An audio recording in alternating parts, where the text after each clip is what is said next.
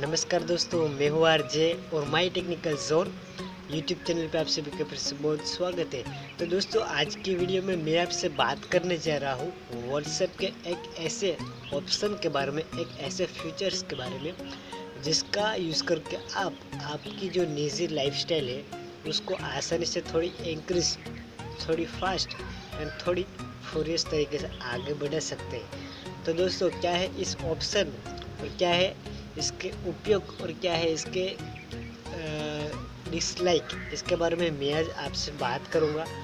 तो चलिए दोस्तों स्टार्ट करते हैं।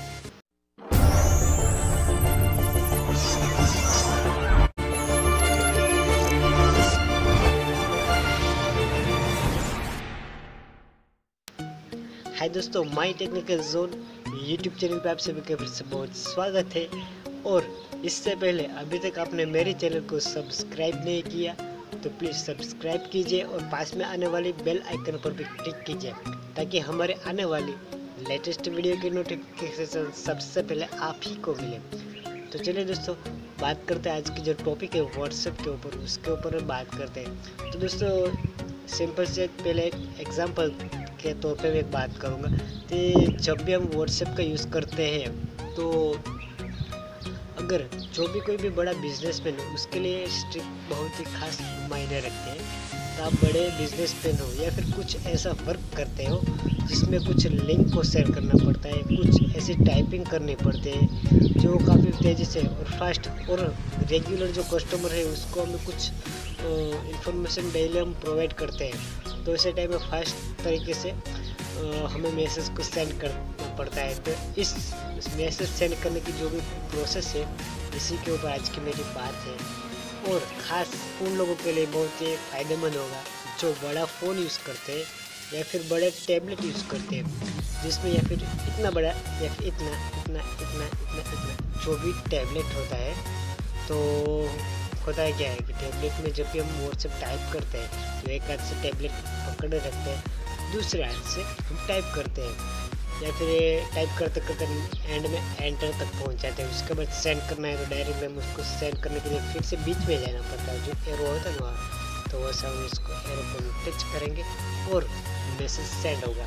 तो जनरली यही एक स्ट्रिक है। लेकिन इससे सेंडिंग के स्ट्रिक में दूसरी स्ट्रिक मैं आपको बताऊँगा। जो है इजी सेंड कर पाते हैं। जब हम टाइप करते हैं, उसके बाद हमारे जो भी टैबलेट को हम पकड़े रखते हैं, इस तरीके से कुछ राइट उसके बाद जैसे टाइप किया वो डायरेक्टली यहाँ से डायरेक्टली सेंड कर सकते हैं। जी हाँ दोस्तों, जब हम बैक बटन यूज़ करते हैं बैक उसके ऊपर एंटर टाइप का जो एरो होता है एंटर इस तरीके से तो एंटर की जगह पे जो भी हम सेंड करते हैं ना सेंड करते हैं ना, जो भी मैसेज सेंड वाले जो एरो डायरेक्टली एंटर के ऊपर ले जाएँगे। तो वही आज मैं बताऊँगा। तो आप वहाँ से भी सेंड कर सकते हैं यहाँ से एंटर पे भी सेंड कर सकते हैं। लेकिन उसका एक बढ़िया से एक यूज़ नहीं हुआ है कि जब ये एरो एंटर तक आ जाएगी उसके बाद जब भी मैसेज को हम टाइप करेंगे तो सिर्फ़ एक ही लाइन में हम टाइप कर सकते हैं। जब भी एंटर को हम क्लिक करके नीचे आते हैं हम एक लाइन में वो उस, उसके ज़रिए फिर हम नहीं आ सकते। हैं आ सकते हैं लेकिन इस ऑप्शन को बंद करना पड़ेगा तब आएँगे। लेकिन जो रेगुलर डायरेक्टली कुछ मैसेज सेंड करने होते हैं डायरेक्टली पेस्ट कॉपी तो इन लोगों के लिए आज का ये बहुत ही बढ़िया से इस ऑप्शन है। तो सबसे पहले क्या करना है? सबसे पहले हमारा हमारा व्हाट्सएप को ओपन करना है। उसके बाद वहाँ सेटिंग में जाना है। वहाँ पे फ़र्स्ट में होगा प्राइवेसी उसके बाद चैट चैट सेटिंग होगी। चैट चैट में में जाना है। चैट के अंदर चैट ऑप्शन के अंदर। वहाँ होगा, एक नाम होगा। एंटर सी enter key enter key enter arrow key इस तरीके से कुछ नाम होगा, जो अभी मैं इसको आपको बताऊँगा, या फ़ोटो में जो देख रहे हैं, वही। इस फ़ोटो में जो है ऑप्शन उसके अंदर आपको जाना है। वहाँ पे जो बॉक्स होगा, उसमें सिर्फ़ हमें राइट करना है ओनली फॉर राइट राइट करेंगे। तो सिंपल है ऑप्शन वो ऑन हो जाएगा।